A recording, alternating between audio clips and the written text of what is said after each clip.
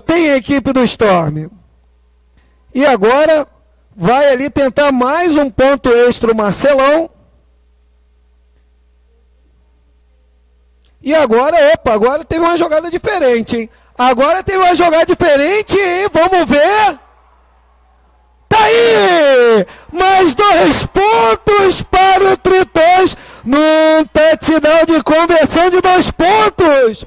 Até que enfim, olha, se não saísse uma jogada com essa formação hoje, eu não ia dormir conformado.